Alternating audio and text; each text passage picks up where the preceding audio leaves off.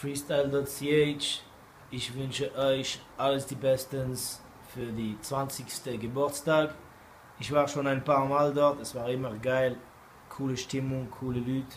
So, ich wünsche für euch noch 20 Jahre und ich hoffe, wir sehen uns bald.